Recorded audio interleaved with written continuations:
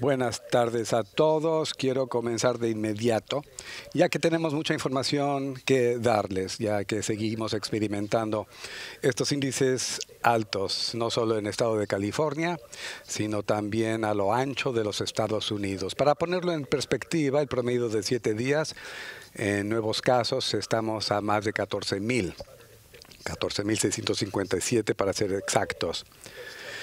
El índice de un día que anunciamos hoy concuerda con ese, promedio de 14 de 7 días 14.034. Para ponerlo ponerlo en perspectiva, al ver estas cifras, recordando el periodo pico desde que inició la pandemia, ese promedio de 7 días Anteriormente el pico previo era 9.881, el pico en julio comparado a casi 15.000 que estamos experimentando ahora en los últimos siete días. Anticipamos en base a lo que sucedió en los últimos días, que en las próximas semanas, una a dos semanas, en base a las actividades del Día de Acción de Gracias y los esfuerzos para educar al público contra esas actividades y reuniones, que veremos un incremento en los casos. Es importante poner en perspectiva el estado de California comparado a otros estados.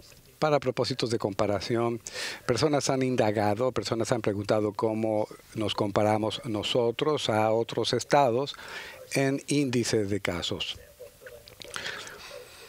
O los, eh, cuáles son los estados que tienen eh, el número mayor de casos con población de 100.000 o más. Es, mm, relativamente, estamos mejor que la gran mayoría de los estados. Número 39 ahorita en el país con 34 ah, casos por 100 eh, de población. Habiendo dicho esto, lo que nos preocupa de forma alarmante, no solo en este estado, sino en otros, es el índice de crecimiento. Y vamos a ver eso ahora antes de mencionar que somos el estado 11 de 50 estados eh, con los promedios. El número de promedio de pruebas sigue aumentando. Tenemos que seguir viendo un mayor aumento de esto, particularmente con el nuevo laboratorio estatal que se, eh, que se abrió.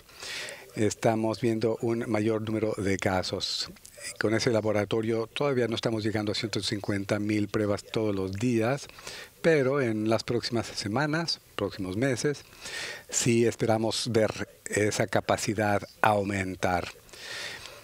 Ese, laboratorio sí tiene capacidad de más de 150 mil, pero sí tardarán algo de tiempo en poder llegar a esa cifra.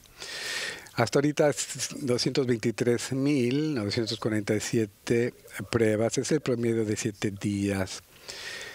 Y estamos viendo el índice de positividad, que es el indicador más importante para entender dónde y cómo está ocurriendo la propagación del virus en la comunidad. Ese índice de propagación está a 6.2% en el periodo de 14 días. Esta transparencia seguramente ya la conocen, el índice de positividad. Estábamos a 4.7 hace dos semanas y subió a 5.5 la semana pasada. Hoy estamos a 6.2%. Ese índice de crecimiento es obvio.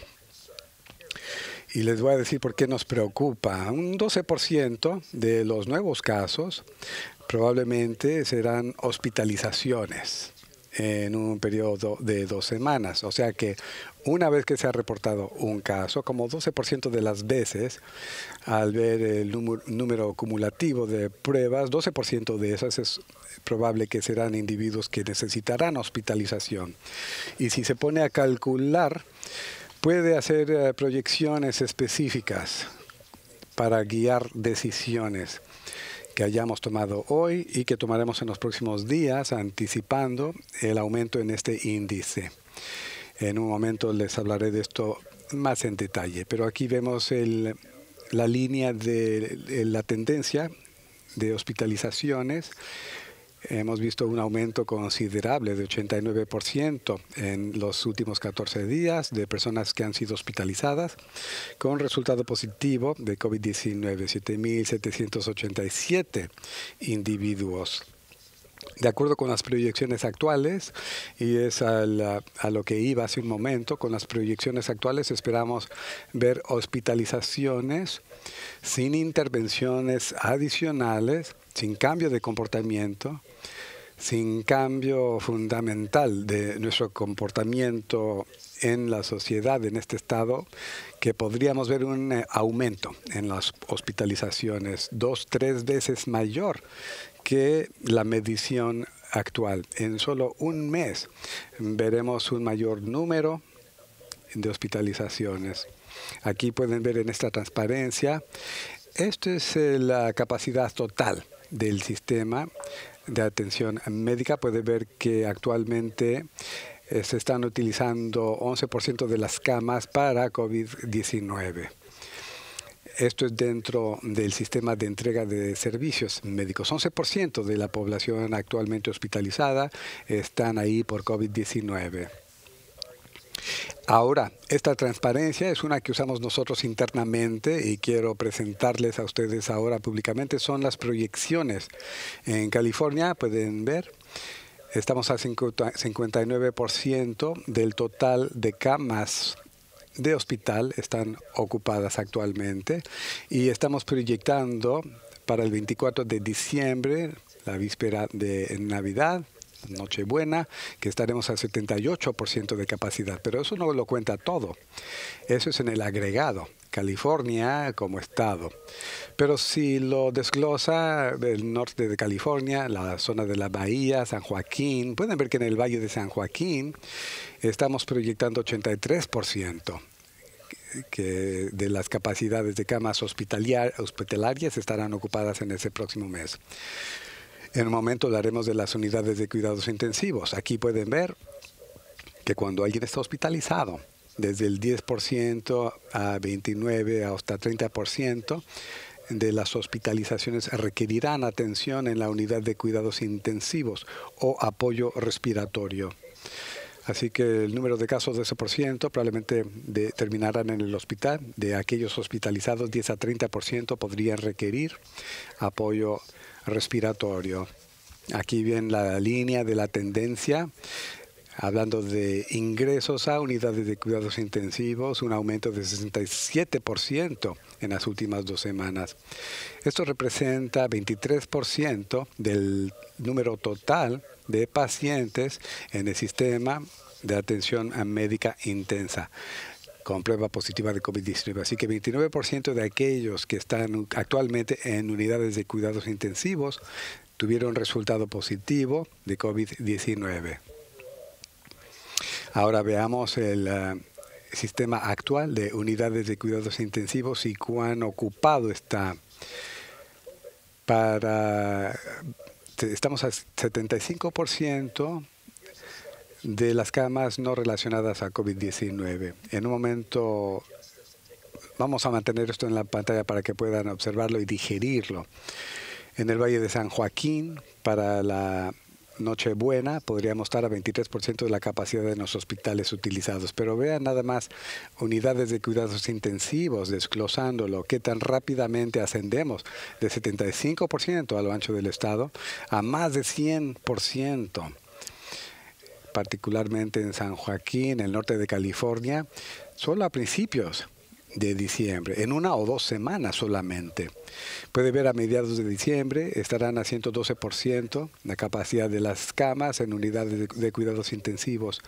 Así que así pueden darse una idea de la situación en que nos encontraremos en, enero. En el área de la bahía, están, ah, esperan tener cifras más robustas, pero sí van a acercarse a 91%. Así que ah, Generalmente aquí vemos las banderas rojas que podríamos esperar ver volando, no amarillas, rojas, para proyectar el crecimiento del virus y por eso queremos recalcar esto que es importantísimo. El doctor Galdi en un momento hablará sobre esto y en las preguntas también podrá detallar más de estas cosas, pero tendremos que posiblemente tomar medidas más drásticas, incluyendo el ver esos condados. Estamos eh, con 51 condados de los 8 condados 58 condados, en el morado, el más restringido, esperando para poder desplazarse de un nivel a otro actualizando la información ahora con 51 condados en el nivel morado, el más restrictivo. Solo uno en el en el naranja, ninguno en el amarillo. Si vemos que continúan estas tendencias, el potencial para una orden de quedarse en casas en esas regiones del morado es sumamente posible debido a la alza en las hospitalizaciones y el ingreso a unidades de cuidados intensivos. Estamos viendo índice de casos y estamos viendo tiempo real, las cifras de hospitalización e ingresos a unidades de cuidados intensivos en esas regiones. Estamos evaluando esto en tiempo real en los próximos días o dos para hacer estas, tomar estas decisiones sobre esos condados en el morado, el nivel más restrictivo que será más afín a esa orden de quedarse en casa, comparado a más restrictivo comparado a como estábamos a principios del año. Hemos estado haciendo más trabajo con funcionarios de salubridad a lo ancho y a largo del estado durante el fin de semana, bien conscientes de lo que pasa en el condado de Los Ángeles y en la bahía. Y estos ah, funcionarios de salubridad dan consejos a nuestro equipo. Ellos nos dicen que esperan ver en nuestro estado, están familiarizados con algunas de las recomendaciones que aceptamos de ellos mismos y algunas de las que nosotros hemos hecho con las que hemos trabajado en tiempo real. Ya que me parece que este es un punto tan importante para recalcar, doctor Galley, tal vez pueda usted hablar un poco más a fondo y voy a, vamos a poner esa transparencia otra vez al hablar usted si nos hace favor de mencionar las conversaciones que ha tenido en la última semana para darnos un poco de introspección sobre lo que estamos posiblemente viendo en los próximos días si sigue en aumento eh, las hospitalizaciones.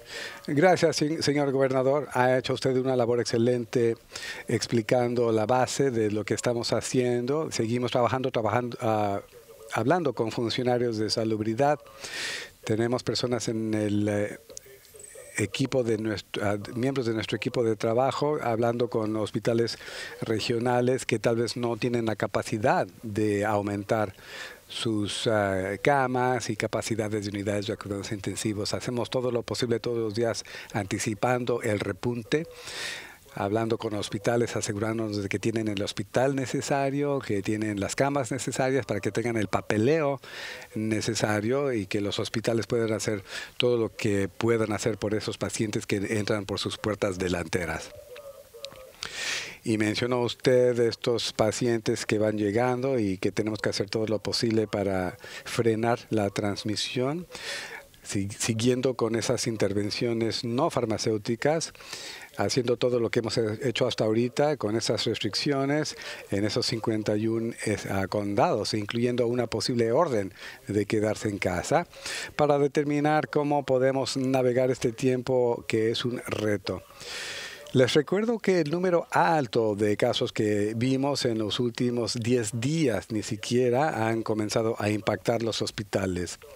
Nos hemos dado cuenta que se tarda unas dos semanas para ver ese impacto. Hemos tenido más de 18 mil nuevos casos en el estado y esto nos indica que los hospitales todavía no se han visto impactados por este aumento de casos todos los días, francamente. Eh, sigo trabajando con funcionarios de salubridad por el Estado para entender dónde ven ellos sus mayores retos para ayudarlos a ponerse fuertes. Entendemos que el personal es uno de los recursos más importantes para ellos, están fatigadísimos, sus familiares están preocupados por estos altos índices de propagación, así que en nuestras comunidades seguimos haciendo todo lo posible para proteger a esos trabajadores de salubridad.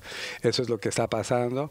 Como sabe, señor gobernador, todo está sobre la mesa para considerarlo sobre cómo guiar a este Estado y seguir trabajando con los socios locales para asegurarnos de que lo que hacemos tenga impacto y que funcione lo más pronto posible y que los californianos sepan que estamos optando por las cosas que marcan una diferencia y que podemos rastrear estos cambios para dar más confianza al público para traer a los hospitales a una situación donde pueden lidiar con esa sobrecarga de pacientes, proporcionando, sin embargo, atención de alto nivel. Sí, muchas gracias.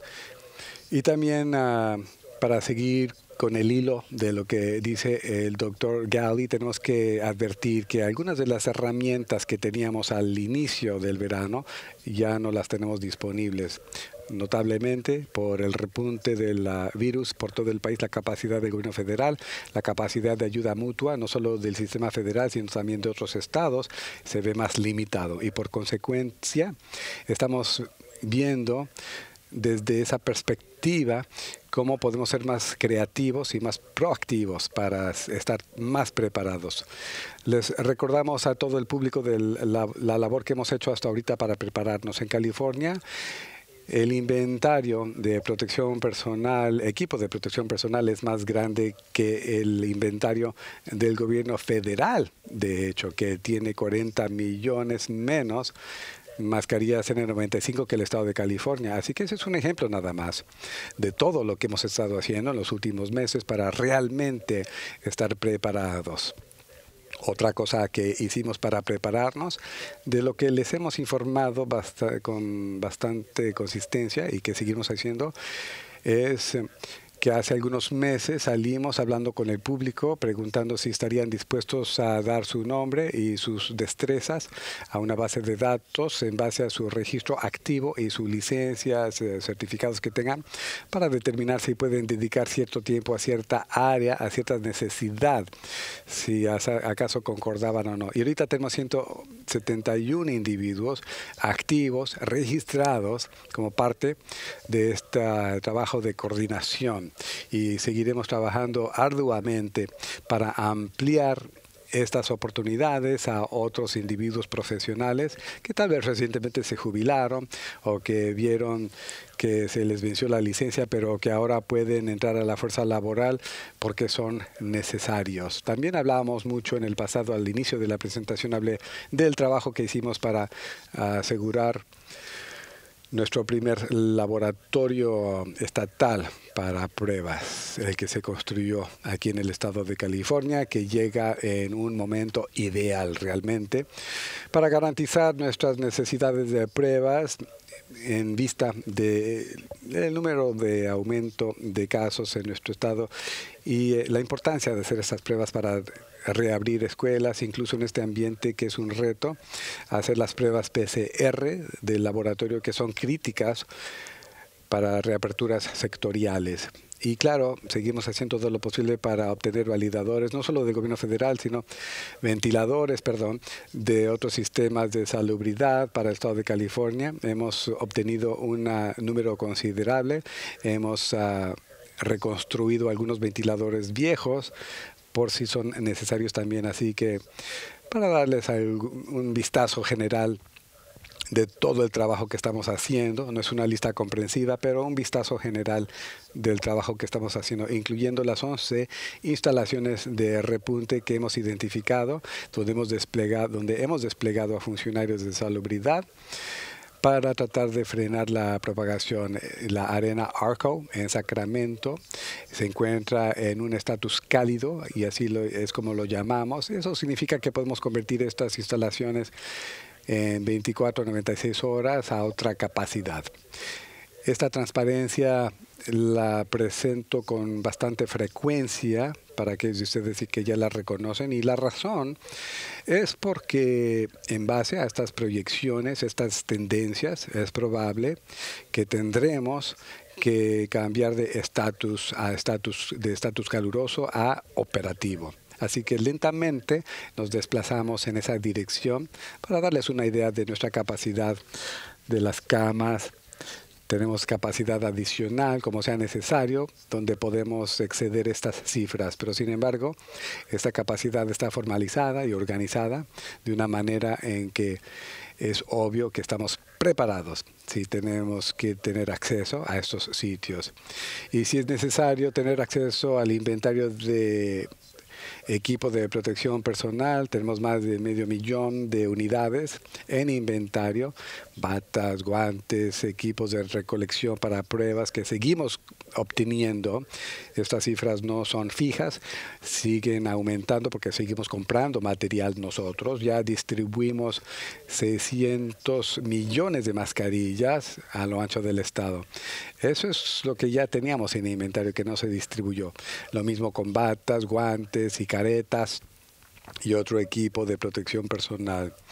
Pero otra cosa de la que debemos hablar sobre cuán preparados estamos es pequeños negocios. Si estamos hablando de más modificaciones, más restricciones sectoriales o para la industria, para negocios no esenciales como han visto en el condado de Los Ángeles, como han visto en otras partes del estado, al desplazarse más y más condados al nivel morado y al ver la modificación que implementamos a lo ancho del estado a nivel local, tenemos que estar bien percatados del impacto económico y las consecuencias económicas de estas restricciones. Así que quería aprovechar esta oportunidad. Estas transparencias las he mostrado en el pasado muchas veces, del trabajo que hicimos en el pasado, de lo que proponemos en nuestro presupuesto, antes de decretar el presupuesto en julio, trabajando colaborativamente con la legislación. y también considerando, contemplando lo que podríamos hacer en el año próximo eh, respecto al presupuesto, ese presupuesto lo vamos a anunciar en enero a la legislatura. Esto ha sido importante, pero ahora quiero ofrecerles algo de introspección adicional de lo que hacemos inmediatamente en este espacio, dirigido más que nada a los sectores mayormente impactados particularmente pequeños negocios. Hoy estamos anunciando ayuda inmediata para proporcionar miles de millones de dólares en oportunidades para pequeños mm, negocios que deben impuestos sobre la venta. Hasta un millón de dólares se deben para darles una extensión de tres meses básicamente eh, será recolectado ese impuesto por el comerciante, lo ponen en una cuenta bancaria, es enviado a las ciudades, al gobierno para distribución. Ahora puede retener ese dinero, utilizarlo para poder sufragar sus gastos profesionales. Y esto será automático para cualquier negocio que deba hasta un millón de dólares en impuestos sobre la venta. Y para negocios que tengan más de 5 millones de dólares en venta, será 3%. Así que quiero aclarar este segundo punto. los pagos de intereses a compañías mayores con ventas de hasta 5 millones. Cualquier impuesto sobre la venta que deban se expandirán las, para las ventas hasta 5 millones en impuestos sobre la venta. Hay un formulario que tiene que completar, será automático para los otros negocios. Tiene que completar el formulario en covid19.ca.gov, el primer sitio web que los dirigirá a las agencias apropiadas, los formularios apropiados, covid19.ca.gov y ahí pueden tener acceso a esos formularios y aprender más sobre estos programas. Quiero dar gracias a líderes de la legislatura por su introspección, su consejo, su apoyo en estos esfuerzos. Y también, claro, estamos expandiendo a estas otras industrias con operaciones que se han visto impactadas desproporcionadamente, salones de belleza, restaurantes, bares, las industrias de hospitalidad, que ya se han visto impactadas por su nivel en el, programa de niveles para controlar y eh, las restricciones que verán en los próximos días y semanas. Esto es algo del apoyo que estamos proporcionando, el paquete de apoyo de emergencia junto con la legislatura, es dinero que tendremos de inmediato 500 millones de dólares. Quiero dar gracias a líderes de la legislatura, trabajando con nuestro equipo durante el fin de semana para conseguir ese medio millón de dólares de dinero de subvenciones, no solo para pequeños negocios, sino también instituciones culturales, organizaciones sin afán de lucro. Nunca debemos olvidar a estas organizaciones importantes, sociales, que están ahí para ayudar a los más vulnerables del estado de California. Son becas de hasta 25 mil dólares. En las próximas semanas, este programa será unido al programa que estamos preparando con la legislatura en la próxima sesión de la legislatura. No estamos al final, estamos a medio camino de lo que tratamos de lograr juntos en julio con la legislatura y ahora continuamos creando un puente con esta apropiación de emergencia de fondos para ponernos a conversar con la legislatura, a ver qué podemos hacer con acción temprana respecto al presupuesto del año próximo. Además de esto, estamos aumentando nuestra inversión en el Fondo de Reconstrucción de California. Estoy muy orgulloso de este fondo con una respuesta abrumadora. Esto provino de nuestra fuerza ah, de trabajo. Es interesante para algunos. esto fue idea de Janet Yellen, la ex jefa que hoy fue anunciada por el presidente electo Biden para ser la próxima secretaria de la Tesorería. Ella fue participante activa en el grupo de trabajo y habló de la importancia de proporcionar fondos de ayuda y ayuda directa para negocios y pequeños negocios con este programa. Este programa de inmediato generó muchísimo apoyo. La idea es de dar 125 millones de dólares queremos aprovechar estos dólares. Ya han visto lo que pasó desde que anunciamos eh, la primera tanda de este, esta subvención. Queremos 12 millones adicionales para subvencionar a otros, para llegar a 125 millones en total de ayuda. Y también tenemos ah, presente que mañana, literalmente mañana, por el trabajo de la legislatura, gracias a al jefe Teng y Holly Mitchell por su apoyo en nuestro crédito eh, impositivo de hasta 100 millones de dólares. Estos dólares están disponibles cuando uno contrata a un empleado que califique con crédito impositivo de hasta mil dólares o hasta 100 mil dólares para cualquier dueño de negocio. Mañana comienza este programa. Pueden ir a covid19.ca.gov Ahí les daremos los datos básicos para que descubra usted a dónde asistir para este programa que estará activo el primero de diciembre. También tenemos un programa y para mí es ah, algo sorprendente que no ha generado más atención este programa. Ah, pero tendremos que seguir recordándole a la gente. Hemos renunciado al impuesto de franquicias para nuevos negocios, 100 millones de dólares, fueron apartados en julio en el presupuesto para alentar innovación eh, para empresarios. Y les recordamos a los profesionales de este programa, aprobado con mucho apoyo de la legislatura. Y también excluyen todos los préstamos de PPP de cualquier impuesto eh, estatal.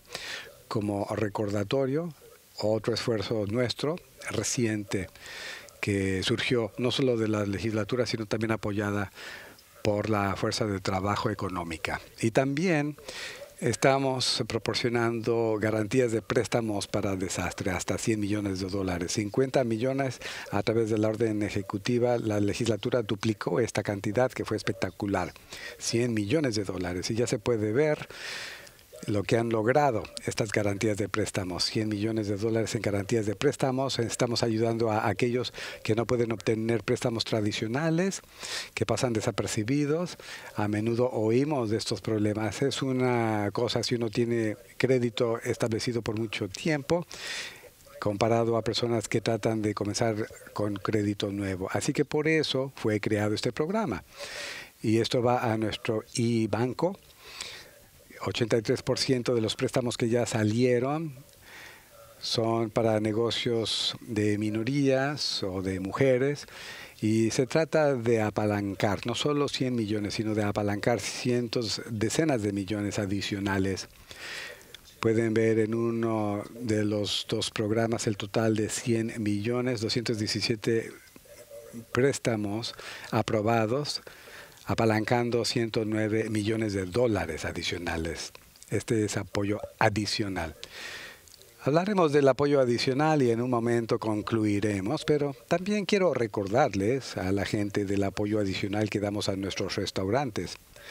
Hace algunos meses fuimos el primero, los primeros en el país trabajando con FEMA con el programa Great Plates.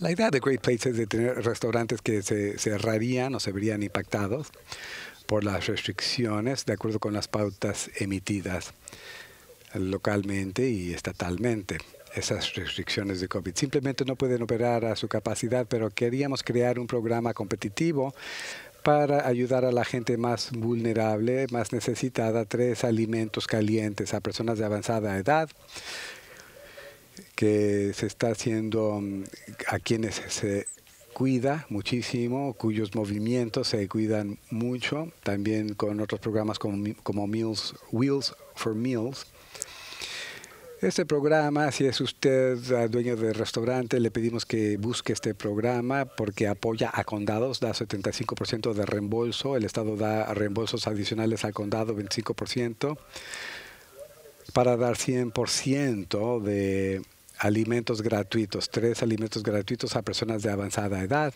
y dar oportunidades a pequeños negocios y restaurantes que sigan abiertos proporcionando esas comidas, recibiendo pago por proporcionar esas comidas a través del programa, a través de los reembolsos del programa, trabajando con FEMA y el Estado con dados ya 10 mil trabajos se han visto apoyados, casi 10 mil trabajos en la industria de comida y queremos llegar todavía a niveles más altos. Y si seguimos presionando más y más a la industria de restaurantes, es importante que compartamos más información sobre este programa Great Place.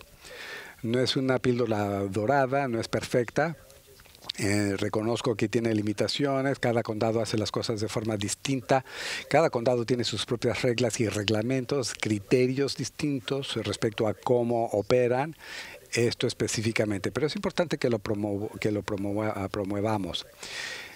Pueden visitar covid19.ca.gov en ese sitio web para aprender más acerca de Great Plates. Tal vez funcione para usted y su negocio, tal vez no. Vale la pena buscarlo y ver si así usted puede ayudar también en las próximas seis a ocho semanas preparando comidas y recibiendo pago por ellas.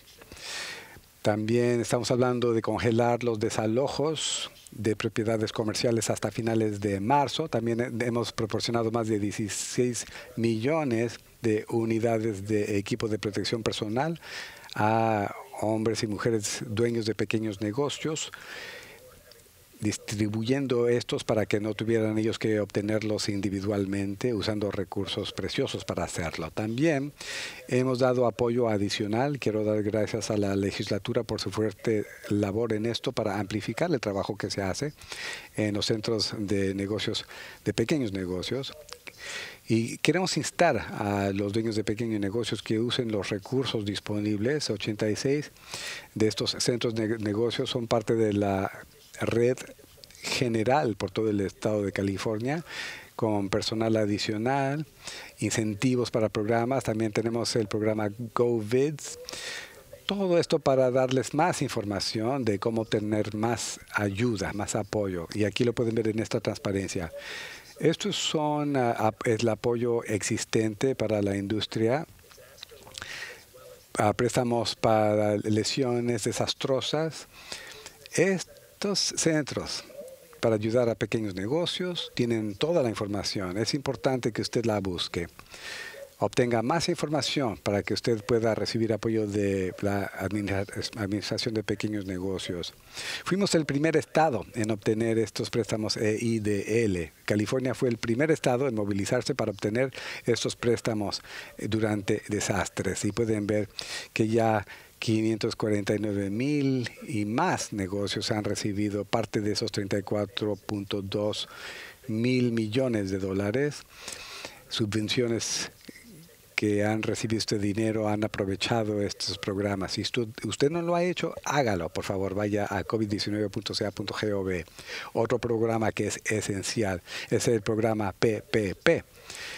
Aquí les mostramos que casi 624 mil negocios han recibido casi 69 mil millones de dólares aprovechando estas subvenciones, la ayuda federal que hemos recibido y cómo se ha distribuido este, este dinero en el estado de California. Más de 100 mil millones de dólares desde que inició la pandemia. Me doy cuenta que no es ni siquiera cerca de lo que necesitamos, pero como ex dueño de negocios personales en un restaurante, saliendo del colegio comencé mi propio negocio y así nació mi pasión por el ser empresario y así nació mi respeto también por los dueños de pequeños negocios y lo que están encarando, particularmente en los próximos meses. Ahora, en lo que vamos corriendo en esa recta final hacia la vacuna, en un momento hablamos de eso, pero ahorita, en este tiempo difícil, hay más restricciones ante ustedes, más negocios que se ven vulnerables, y queremos estar seguros de aprovechar todos estos programas federales. Por eso este programa PPP fue tan importante y sigue siendo crítico que obtengamos más apoyo del gobierno federal. En un momento hablaré de esto, pero por supuesto que seguiremos necesitando mucho apoyo del Estado y seguiremos trabajando con la legislatura para proteger empleos, expandir empleos. Hablaremos más del seguro de empleo, no solo seguro de desempleo. En enero hablaremos del perdonar más tarifas y costos para industrias impactadas desproporcionadamente por esta pandemia. Muchas geniales ideas han nacido en la legislatura. Trabajamos juntos muchísimo el, año pasado, pero no logramos todo lo que queríamos lograr pero seguimos trabajando. Tenemos toda una lista de cosas en que estamos involucrados activamente con la legislatura para tener acción temprana y movilizarnos rápidamente en cuanto a la ayuda adicional para negocios. Reitero, todo el trabajo que hicimos de julio, ahora sale el dinero y ahora esta ayuda interina, estas nuevas becas federales, subvenciones, ayudando a esos negocios esenciales que siguen abiertos pero apenas sobreviviendo, la capacidad de utilizar esos dólares de impuestos y más información y acceso sobre estos préstamos para pequeños negocios y creando nuestros préstamos estatales para aquellos que no pudieron recibir ayuda. Y claro, el trabajo que tenemos que hacer en el micro apoyo para pequeños negocios y aquí más infraestructura, más uh, estrategias de crecimiento económico más amplio, generalizado, y ahora podemos acelerar todavía más esta infraestructura, el financiamiento para la infraestructura, parte de lo que estaremos haciendo entrando a enero. Pero permítame concluir respecto a este tema. No podemos hacerlo juntos, aunque somos la quinta economía más grande del mundo. Han pasado 248 días desde la ley CARES se promulgó.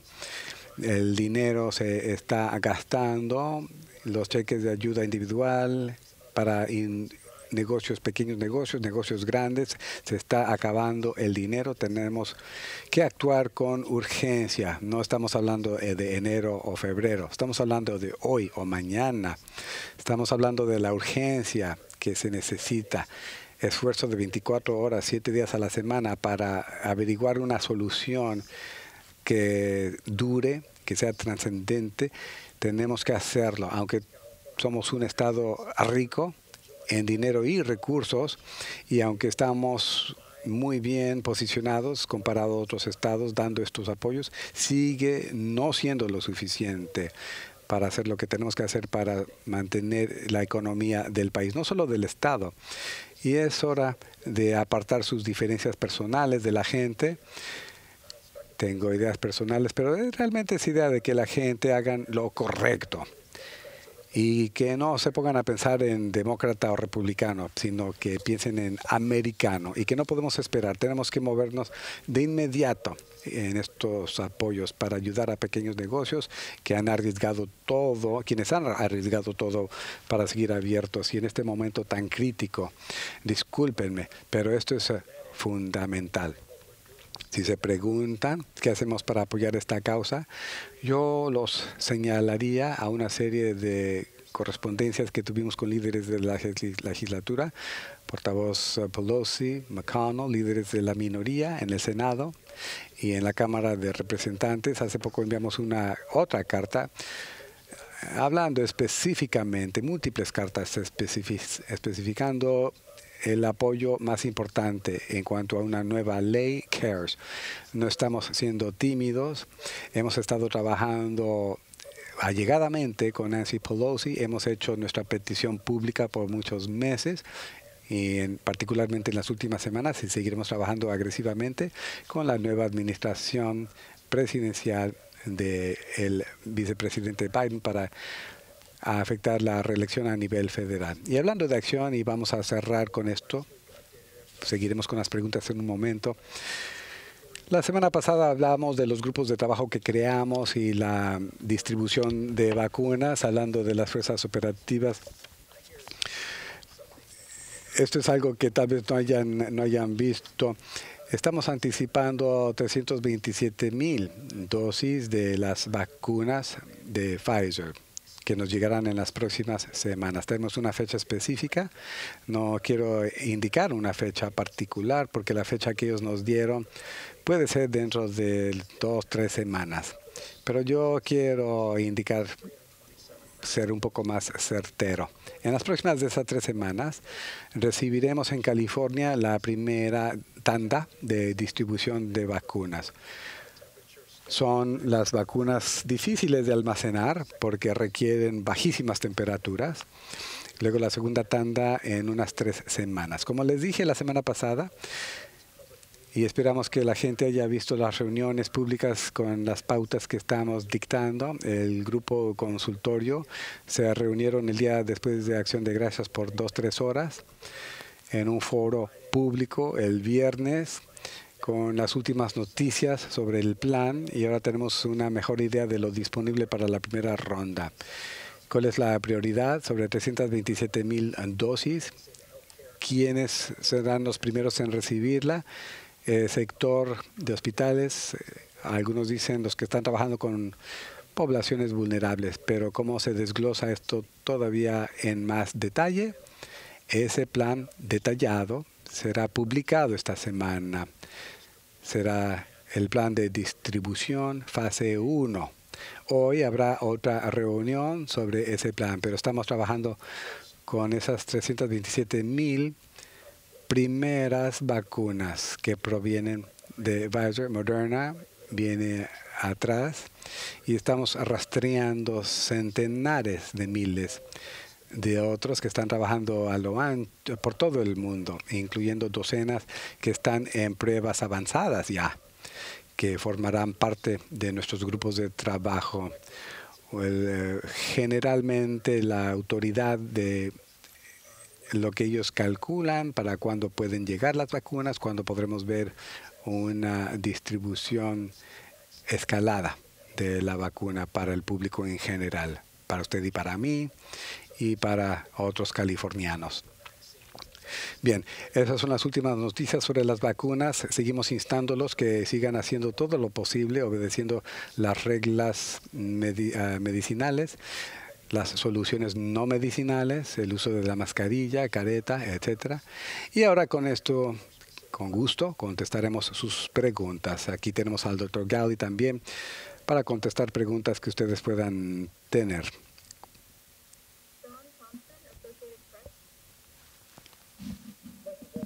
Gracias. En cuanto a temas relacionados,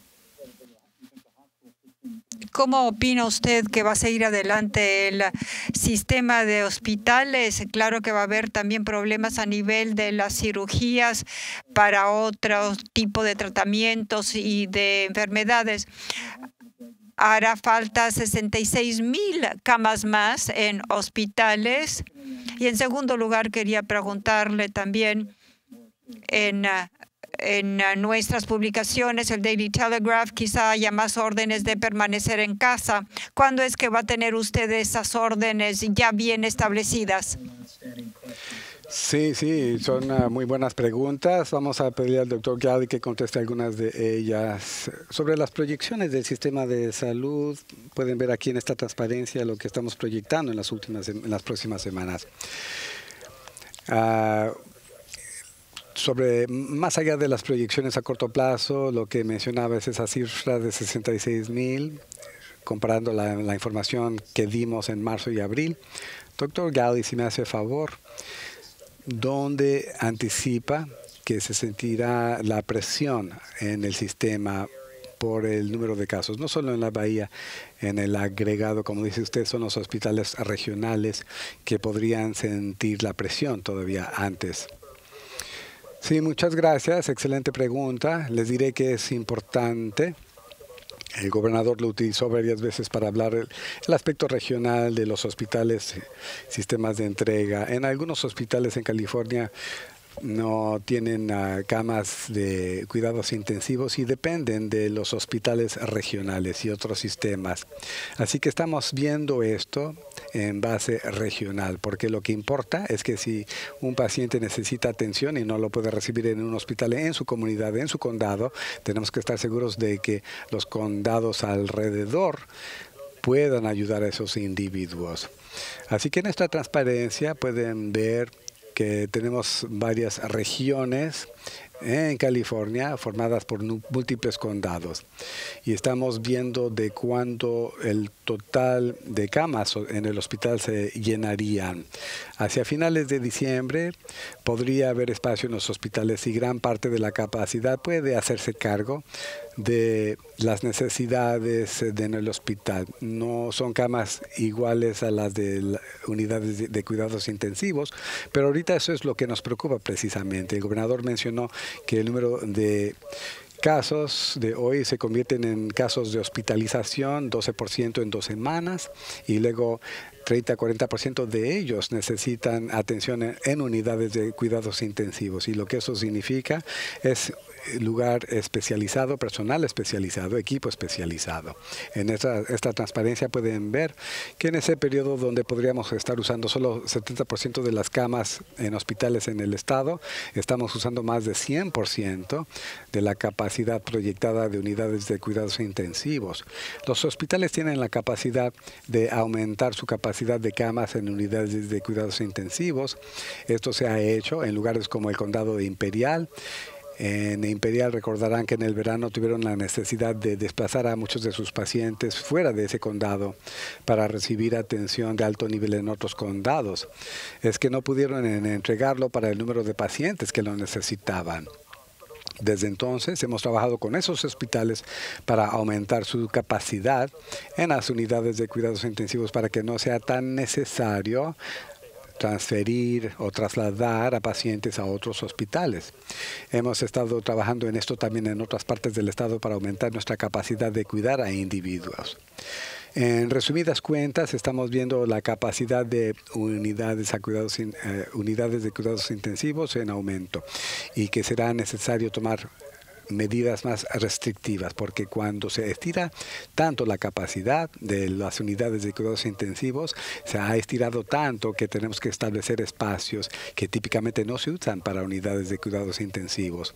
Sabemos que la calidad del cuidado, no por culpa de alguien en particular o por descuido de la gente, todo lo contrario, estamos trabajando tan arduamente, tan rápidamente, que la calidad de atención médica tiene resultados deficientes que no queremos ver. Así que todos estamos tratando de anticipar este repunte de casos para que, como pueden ver en la transparencia, en la segunda mitad de diciembre, si no hacemos cambios a cómo va la transmisión hoy, posiblemente tendremos una sobrecarga o limitaciones en ciertas regiones sobre eh, las capacidades en los hospitales y por eso tenemos que trabajar arduamente y seguir encima de este problema, trabajando con funcionarios locales para anticipar cuáles podrían ser sus necesidades particulares y también a lo ancho del Estado. Y vemos que en la segunda mitad de diciembre puede ser crítico presionando algunas áreas y es necesario actuar más rápidamente en esas áreas para reducir la transmisión y poder lidiar con esos repuntes. Si me permite, doctor Galli, interceder con algo más. Y esto antes de que escriban su encabezado, que esto es lo que anticipamos en el Estado. No lo anticipamos. Esto es en ausencia de tomar mejores decisiones. Esto es un esquema que dice que si podemos tomar un paso hacia atrás y considerar nuestras normas actualmente y si después no mejoramos los esfuerzos existentes, eso es lo que proyectamos que podría suceder. Así que queremos que el público sepa que nosotros nos proponemos aplanar la curva, impactar favorablemente las estadísticas. Es importante notar que muchos hospitales ya eh, están suspendiendo cirugías selectivas. Doctor Gaudi tal vez pueda hablar más formalmente del tipo de cirugías que a principios de la pandemia, muchas de ellas fueron suspendidas voluntariamente, por supuesto, a principios de la pandemia, pero ahora más y más se están suspendiendo de oficio por la sobrecarga al sistema.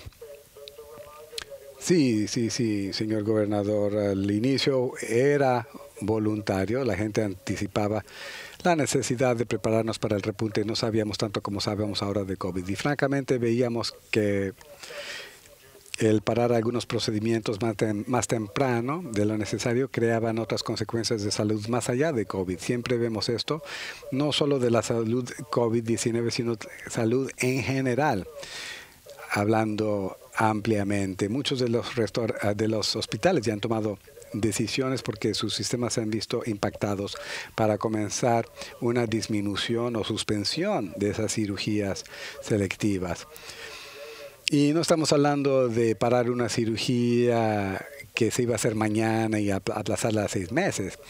Hago cosas como catéteres, reemplazos de válvulas cardíacas, algunos procedimientos que no son tan críticos que tienen que suceder hoy mismo, pero esperar semanas y semanas y semanas puede tener consecuencias importantes. Así que es importante encontrar ese equilibrio para clínicas y hospitales, especialmente en el Valle Central, si ve partes del sur de California, áreas de la Bahía, seguramente en Sacramento, algunos hospitales, algunos sistemas ya están tomando la decisión de reducir esas cirugías en parte o tal vez de plano suspenderlas hasta ver qué pasa en las próximas semanas. También debemos recordarles que muchos de esos servicios y cirugías se pueden parar bastante rápidamente en uno o dos días, así que pueden mantener esas mm, en sus itinerarios por ahora, pero rápidamente apagar esa demanda y proteger al resto del sistema de salubridad. Así que estamos trabajando en codo con la Asociación de Hospitales de California para asegurarnos de que la cronología sea correcta y que los hospitales reciban ayuda cuando la necesitan. Sí, muy bien. También la última parte de la pregunta sobre las medidas restrictivas. Les puedo asegurar que estamos evaluando estas en tiempo real. No pueden anticipar anuncios de semana a semana en este espacio. Hay muchas partes móviles sobre cualquier movimiento subsiguiente por el Estado. No se puede hacer una cosa con todos. Tenemos funcionarios de salubridad en distintas partes con puntos de vista distintos. Seguimos trabajando con condados y las industrias, no solo el sistema de atención médica, funcionarios de salubridad para tratar de conseguir los niveles que queremos conseguir eh, de acuerdo con las proyecciones que hacemos hoy.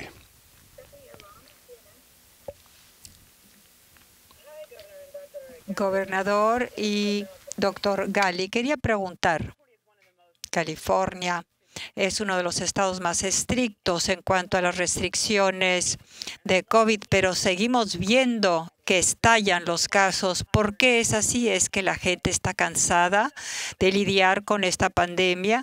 ¿O significa esto que con estas órdenes más estrictas de quedarse en casa en el condado de Los Ángeles, por ejemplo, significa, decía, si es que estas restricciones tienen que ser recalcadas y reforzadas.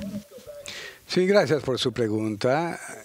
Quiero volver a esa transparencia sobre los eh, índices de casos y positividad. Cuando hablamos de repuntes, particularmente al leer los encabezados de los periódicos, es que la gente siempre primero habla de los números de casos. En California tenemos el equivalente de 21 estados combinados en este país. Así que creo que para California, y esto lo pediría como consideración, no tengo muchas expectativas, pero para considerarlo. En California, cuando reportamos cifras, es distinto que el contexto y escala de otros estados. Aquí estamos haciendo pruebas a más y más personas, 200, más de 220 mil. Estoy consciente de que tenemos que hacer más, pero debemos esperar que esas cifras sean altas en un estado tan grande. El índice de positividad es el número sumamente importante para rastrear, como puede ver en esta transparencia. Y tiene razón, aprecio su pregunta. Estamos viendo un aumento en las últimas semanas no solo en el número de casos, sino también en el índice de positividad, que podría ser más importante. Este índice de positividad ascendió de 4.7 a 6.2. Es desconcertante. Sabemos que esto impactará al sistema de atención médica y hospitales, como ya dijimos, reconocemos el impacto que esto tendrá en las unidades de cuidados intensivos. Pero sí quiero señalar que 6.2% no es el número más alto que se ha visto en este estado, pero el aumento que se proyecta está a un nivel que no hemos visto. Entonces sí está correcto llamar esto repunte.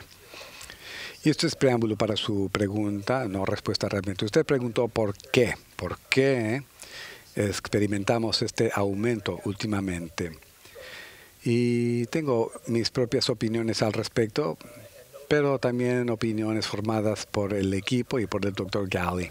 Le voy a pedir al doctor Galley que hable de la fatiga más amplia que se ha visto en COVID-18 bien considerado. Pero él puede hablar más específicamente de las áreas en que estamos viendo un aumento de la transmisión. En las instalaciones donde la gente se reúne, restaurantes, o tal vez en casas mismas, en reuniones familiares. Doctor Gali. Sí, genial pregunta. Estamos constantemente respondiendo estas preguntas estos días. Comenzaría yo diciendo que tantos californianos siguen haciendo lo correcto, tienen la guardia en alto, es fácil bajarla y se reconoce que fácilmente la gente lo está haciendo después de tantos meses. Sabemos que es difícil, pero son las herramientas que nos van a ayudar a sobreponernos algo de esto tiene que ver con esa fatiga de COVID-19, ese resentimiento. La gente quiere ya de plano acabar con esto, pero solo porque estamos hartos nosotros no significa que cesará. Por eso es importante seguir apoyando a California con mensajes, dando apoyo adicional que mencionó el gobernador el día de hoy y realmente con la esperanza de algunas de las noticias en torno a la vacuna. Los más vulnerables podrían recibir sus vacunas trabajadores, primeros socorristas podrían recibir sus vacunas en pocas semanas, abriendo la puerta para tantos más que la recibirán para protegernos. También otro hecho es que viendo el mapa de los Estados Unidos parece que el clima se desplaza del este al oeste. COVID se desplaza en esa dirección. Ha estado haciéndolo así, de, yendo del este a la parte central y llegando hasta la estado de California, con muchos regresando de sus viajes. Esperamos que respeten los consejos que damos de protegerse a sí mismos, sus familias y comunidades haciendo lo correcto. Esto puede ayudar a reducir la transmisión un poco, pero sabemos que el viajar, eh, la aglomeración con otras personas está impulsando la propagación con el nivel de casos transmitiendo 34.5% por cada 100.000 personas. Les recuerdo que es aproximadamente cuatro veces más alto de lo que vimos hace algunas semanas y eso significa que las actividades que hace un mes la gente pensó que eran de bajo riesgo, hoy nos damos cuenta que son de alto riesgo. Así que tenemos que recalibrar lo que hacemos para mantener baja la transmisión de este virus, proteger a aquellos que podrían enfermarse y ser hospitalizados. Y francamente, para mantener el índice de muertes en California tan bajo como pueda, dado lo que hemos visto en los próximos meses y con la esperanza de la nueva vacuna, creo que California lo puede hacer. Pero realmente estamos en una situación muy distinta a la que habíamos visto antes con la propagación. Todas las actividades de bajo riesgo el mes pasado, este mes son de alto riesgo. Sí, y para notar, y es importante, disculpen que no lo mencioné antes, hemos perdido un promedio de 59 personas al día en los últimos siete días. Y estamos viendo que el índice de muertes asciende, no considerablemente, pero sí algo modestamente. Estaba bajando, estaba comenzando a aplanarse esa cifra y ahora estamos viendo un alce de nuevo. Y esto es algo que temíamos y que seguimos temiendo de ahora en adelante. Yo me llamo Brittany Johnson, trabajo para KCRA. Gracias por tomar mi pregunta. Tengo dos preguntas. Eh, los protocolos de datos de California y el hecho de realizar auto cuarentenas en cuanto a los uh, exámenes, las pruebas, tendrán que esperar la aprobación de la FDA o bien van a estar recopilando datos por sí solos para la distribución de la vacuna. En cuanto al auto cuarentena, se pide que esto se haga y sobre todo durante las fiestas del Día de Acción de Gracias. Me gustaría saber cuántas personas lo están haciendo, si cumplen con su palabra. ¿Hay algún grupo que los controla, que los sigue para ver si en efecto se están llevando a cabo las cuarentenas? ¿Qué es exactamente el significado de auto cuarentena? ¿Cómo se realiza? ¿Qué es lo que se pretende de las personas? Pues siento que podría contestar la última parte de su pregunta, ya que eso es precisamente lo que hago yo. Por eso estoy hablándoles desde mi casa y no del centro de operaciones del Estado, que sería lo típico. Quiero retroceder un poco. La semana pasada les instaba que vieran la presentación sobre las vacunas específicamente. En esa presentación Hablamos del Comité de Seguridad Científica que organizamos, cuyo propósito es poner su sello de aprobación y no valiéndose de nadie más y sin socavar procesos o protocolos existentes, particularmente los que hemos estado implementando por muchos meses. Les recuerdo que California es una de cinco jurisdicciones haciendo microplanificación con el gobierno federal, con CDC y el Departamento de Defensa sobre la distribución de vacuna. Creamos un comité de seguridad científica y tenemos dos otros estados que nos han acompañado en una sociedad regional para revisar las pruebas pruebas que ya se publicaron, presentadas por el FDA. Revisaron dos de esas pruebas. estamos esperando los detalles de la tercera prueba. Y el eh, grupo de trabajo de seguridad científica revisará esos datos independientemente para certificarlo. Es para aumentar confianza y la velocidad para tomar decisiones. Esto no es para causar prórrogas o postergamiento de la distribución de las vacunas. es para aumentar la confianza y para tener las opiniones de algunos de los peritos reconocidos mundialmente. También tal vez notaron de la presentación hace unos momentos, y lo pueden ver en esta transparencia, que tenemos otro grupo de trabajo el grupo de trabajo para dictar pautas que harán una determinación usando el lente de equidad sobre cómo distribuir la vacuna con prioridades. Tenemos el Comité de Seguridad Científica y el grupo de pautas. Y está trabajando con un grupo consultorio que se reúne hoy, se reunieron el viernes y esas reuniones son públicas. Le insto a usted y a otros que sintonicen esas para aprender más de estos planes. La distribución fase 1A, que es distribución de 327 mil dosis que aguardamos en las próximas dos semanas, que estaremos dando la estrategia para su distribución más tarde esta semana de acuerdo con el compromiso que hicimos al establecer las pautas y el grupo consultorio de, comunitario. Así que con eso deben anticipar tenerlo. Y quiero instar a todo mundo que sintonicen sus reuniones consultorias, que son públicas.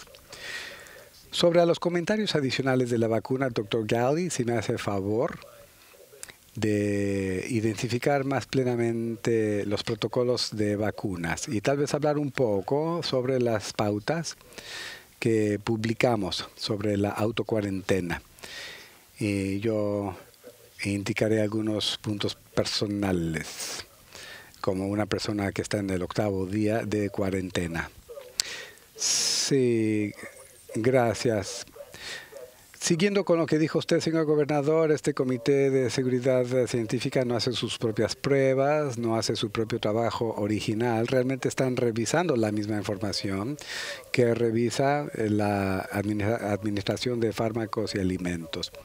Personas que conocen California, personas que viven en nuestro estado, personas que parecen californianos, que hablan los idiomas que hablamos en California, que esto es realmente algo seguro que ellos tomarían que pedirían que sus familias tomen para que este sello de aprobación sea fuerte y que los californianos puedan beneficiarse con esa confianza adicional que queremos aumentar, a seguir adelante. Como dijo el gobernador, la implementación de la vacuna sucederá a la velocidad de la confianza. Y por eso estamos aumentando estos comités, acciones y comunicaciones con ustedes para aumentar esta confianza, compartir nuestras preocupaciones también, porque esta es parte de aumentar la confianza para que cuando salgan estas vacunas, no solo a mediados de diciembre, sino a principios del año próximo, que al hacerlas disponibles, un número de individuos las tendrán disponibles y tendrán esa herramienta adicional para protegerse a sí mismos y su comunidad. Así que el gobernador indicó la cronología con que estamos trabajando para difundir estas, trabajando arduamente con tantos californianos y quiero dar mis gracias a aquellos que contribuyeron su tiempo para hacer de esto un éxito. Esos condados, esos hospitales que se están preparando, para dar las vacunas a sus trabajadores primeros socorristas y otros. Así que no solo estamos aumentando el cuerpo de evidencia para endosar la vacuna, pero tenemos las herramientas para hacerlo en tiempo real como ningún otro estado, para que todo californiano a quien le interese la vacuna pueda tener ese sentido aumentado de confianza, pensar esto puede ser para mí, puede protegerme a mí, a mi familia y sin problemas sobre la cuarentena. Usted, señor gobernador, y yo hemos hablado de esto por su propia experiencia personal y de su familia. Estoy muy agradecido con todos los californianos que están volviendo, si salieron de viaje, que lo tomen en serio, que acaten las pautas de cuarentena, que se tomen 10, 14 días en casa sin ver a nadie más, aparte de los, de los miembros de su propia familia, para reducir las posibilidades de que se transmita más la enfermedad. No es fácil y yo soy el primero en reconocerlo, también el gobernador, que estos son verdaderamente retos. Pero necesitamos que los californianos consideren hacerlo y que sigan haciéndolo completamente. Como dijo el gobernador, no queremos correr a la recta final sin aliento, así que realmente Seguimos trabajando arduamente con los socios federales para ver las pautas de autocuarentena. Y hay artículos en la prensa nacional también que hablan del tiempo para ponerse en cuarentena y si es ah, apropiado vamos a actualizar esa, información después de consultar al Centro de Control de Enfermedades y nuestros socios federales. No es necesario aplicar ninguna ley para hacerlo tal vez eh, le llame sistema de honor. Yo sí lo llamo californianos que siguen haciendo lo correcto para sobreponernos a COVID-19. No queremos ver esto por años y ni siquiera meses más. Pero al seguir a esta segunda parte de nuestra respuesta, haciendo las cosas que sabemos que nos protegerán a nosotros y nuestras familias, para estando en cuarentena y seguiremos haciéndolo. Sí, sí, no quiero aburrirlos con mi experiencia personal, pero sí, después de experimentarlo personalmente, siento simpatía y respeto, compasión por aquellas familias que tienen que ponerse en cuarentena y que tal vez no tienen el apoyo que tienen otros para estar en esa cuarentena. Así que quiero extenderles una nota de apreciación indicación de una mayor comprensión a la gente que, entiende lo que les pedimos que hagan. Seguimos que entiendan la magnitud del momento y que sigan ejerciendo esas buenas prácticas de defenderse, protegerse a sí mismo, particularmente de viajeros que están eh, regresando a California. Tenemos que reconocer las dificultades que estamos enfrentando como país, como nación, por los próximos meses, tal vez próximos años, en lo que estamos viendo una luz al final del túnel. Y eh, estamos en esa recta final hacia la vacuna. ¿Qué tal, gobernador? En las primeras etapas de la pandemia, usted emitió una serie de órdenes ejecutivas para la fuerza laboral de en el ámbito médico y como lo decía el doctor Gali, estos trabajadores están avasallados por la crisis. Me pregunto si habrá otra orden ejecutiva, acciones suplementarias que está usted vislumbrando para nuestra fuerza laboral en el ámbito médico. ¿Habrá algo más en ese sentido para ayudar a estas personas a seguir adelante con su trabajo? Aprecio la pregunta, es una muy buena pregunta. Eh, los uh, hospitales, casi 200 hospitales uh, tienen las renuncias. Esos, esos procesos están bien establecidos, dando atención a primeros socorritos. Y tenemos nuevas reglas y reglamentos sobre pruebas que acaban de entrar en vigor para dar apoyo y confort adicional a la fuerza laboral crítica. Y también los otros apoyos críticos que habíamos avanzado a través de orden ejecutiva o filantropía. La semana pasada hablamos del apoyo filantrópico que hemos recibido en el último año en este estado, particularmente. Un número de estos apoyos era para trabajadores críticos, dándoles ayuda, financiamiento específico, fondos específicos para que la gente tuviera la capacidad de cuidar a sus seres queridos, con tarjetas de débito que se les proporcionó para trabajadores en ah, centros de hospitalización especializada, personas que no querían poner en riesgo a sus seres queridos y que tenían que quedarse dormidos en sus carros, etcétera, que es una estrategia adicional, también avanzando una orden ejecutiva hecha con la concordancia de la ejecutiva de la legislatura de California, todo parte de las estrategias y esfuerzos para abordar este trabajo esencial pero no se puede recalcar lo suficiente la importancia de su pregunta sobre el estrés y la pensión que han visto estos trabajadores, esta tensión que han visto los trabajadores en la línea de batalla. Y así seguiremos viéndolo por las próximas semanas y meses. Y estamos, todos estamos ah, sintiendo compasión por ellos y reconocemos la dedicación y compromiso enorme que ellos han hecho por la comunidad y la presión enorme que sienten ellos y sus seres queridos.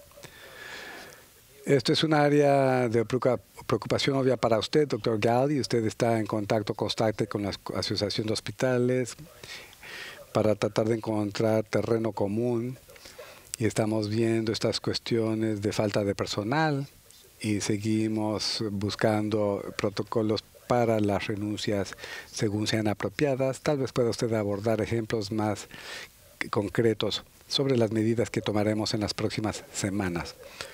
Sí, gracias, señor gobernador. Gracias, Sofía, por esa importante pregunta. Tantas personas están enfrentando esta realidad. En California, miembros de la Asociación de Trabajadores Médicos, ICLU, Asociación de Enfermeras de California, descubriendo cuáles son las condiciones que están enfrentando ellos en tiempo real. Todos estamos juntos en esto, es el mensaje.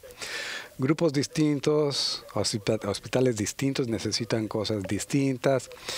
Así que pues uno habla de falta de personal, índices en torno al personal, renuncias, muchos hospitales han pedido renuncias, trabajando con estas renuncias porque no pueden encontrar al personal que pudieron encontrar en el verano para cubrir turnos. Tenemos que estar seguros de que todas las cosas que mencionó el gobernador estén disponibles y que sigan estando disponibles, siendo utilizadas eficazmente apoyando a individuos que necesitan seguir haciendo sus trabajos especialmente particular a esas dudas sobre los índices de personal. En el otoño, perdón, en la primavera y verano, no sabíamos tanto de cuál sería la situación actual y habíamos implementado acciones para tratar de prepararnos. Hoy día, de una forma más balanceada, tenemos estas conversaciones asegurándonos de que seguimos moviéndonos hacia adelante con buenas disposiciones para contratar personal, reconociendo las presiones que enfrenta la gente cuando tienen un número de pacientes de positivos de COVID-19 para asegurarse de que tienen ese personal necesario. De modo que estaremos haciendo estos anuncios importantes, anunciando pautas adicionales para los hospitales, para que sepan cómo actuar y que sepan que tienen ese apoyo y protección que necesitan para ayudar a sus pacientes y que el personal tenga ese apoyo necesario, que como mencionó el gobernador, para hacer pruebas al personal, etcétera. Pero estas, todas estas cosas juntas, en conjunto, nos apoyan para hacer lo que tenemos que hacer. Habiendo dicho todo esto, esto no disminuye la necesidad de que nosotros como miembros de la comunidad de individuos en California hagamos nuestra parte para frenar la transmisión tanto como sea posible. Esos trabajadores, primeros socorristas, estos sistemas existentes para cuidarlo a usted, para cualquier cuestión médica que esté disponible y que hagan la mejor labor posible. Así que, Sofía, estas cosas pueden marcar la diferencia si seguimos apoyando a los trabajadores en la línea de batalla y siguiendo haciendo las cosas para mantener baja la transmisión por el Estado.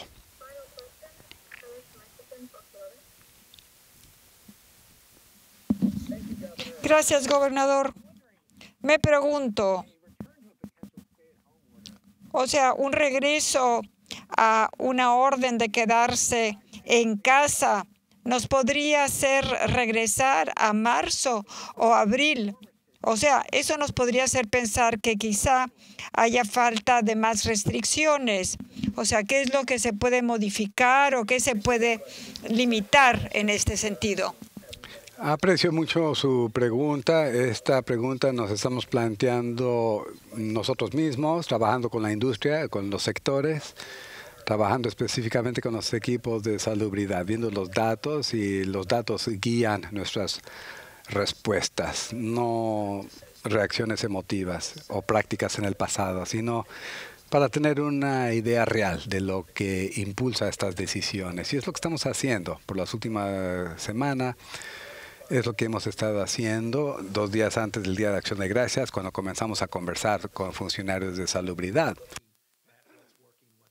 considerando qué está funcionando, qué no está funcionando, incluyendo con socios federales. Así que estamos tratando de ser más eh, dirigidos, más quirúrgicos para usar esa terminología y más prescriptivos, viendo dónde los datos nos conducen para tomar estas decisiones, sector por sector, condado por condado, región por región también.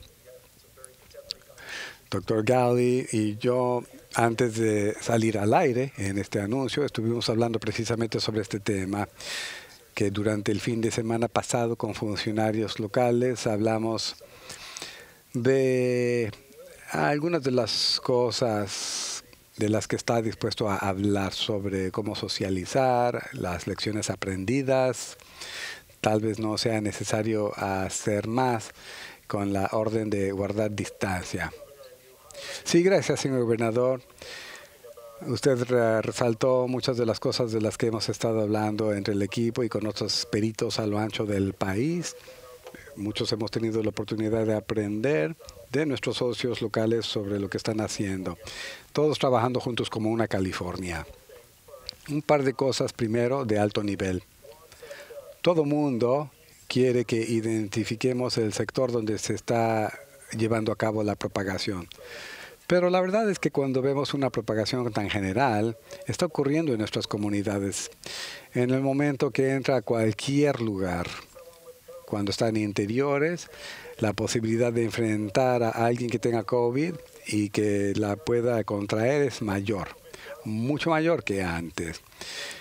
Cuando uno baja la mascarilla, cuando uno se acerca demasiado a esas otras personas, todas estas cosas de las que hemos estado hablando por meses tendrán que ser amplificadas por el nivel de transmisión. Aunque la gente quiere que identifiquemos el o los sectores donde vemos la mayor transmisión, la verdad es que ahorita está por todas nuestras comunidades y todo el mundo es vulnerable a contraerla por cualquiera que esté infectado, cualquiera que esté sin síntomas o presintomático y que pueda infectar a otros. Así que realmente es transmisión comunitaria y ese es el primer enfoque para nosotros. Y segundo, sí, perdón. Sí, segundo, el uh, entremezclarse con otras personas Sabemos que algunas órdenes de quedarse en casa cambian la manera que socializamos. Y esto puede marcar una diferencia importante. Así que eso es lo último, una de las cosas más importantes que hemos aprendido. Es que mm, podemos seguir siendo más quirúrgicos con lo que hacemos y podemos prescribirlo por un periodo de tiempo más largo. Previamente muchas de estas órdenes eran no definidas. Hoy día sabemos que podemos ver impactos con ciertas intervenciones más rápidamente y eso es lo que estamos considerando. Así que todo esto estará incluido en el plan. Lo dejaré ahí porque es necesario tener más conversaciones y más datos que considerar. Sí, el doctor Gali está indicando que es sumamente importante la implementación y la socialización de estas estrategias.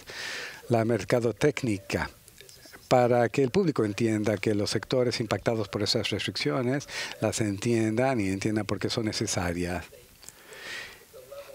Por qué estamos monitoreando el nivel de conexión y asociación con las reglas para que tengan significado, que sean trascendentes. Esto es informal, el seguir reunióndose fuera de interiores. Esto no es nada novedoso para aquellos que han estado prestando atención, pero el reto es mayor ahora para estar en interiores. El clima se pone más frío, más frío, y es más difícil mantener actividades al aire libre con más y más personas. Sin embargo, vamos a terminar no solo contestando a su pregunta, sino también terminando esta presentación diciéndoles que estaremos viendo más de ustedes esta semana. Esta es una semana dinámica, es una semana muy importante. Eh, para esta pandemia, para este país, no solo este estado. Y les puedo asegurar que estaremos difundiendo más información, más recomendaciones en el futuro cercano contestaremos sus preguntas. Esperamos eh, poder responder mejor y esperamos eh, ser más omnipresentes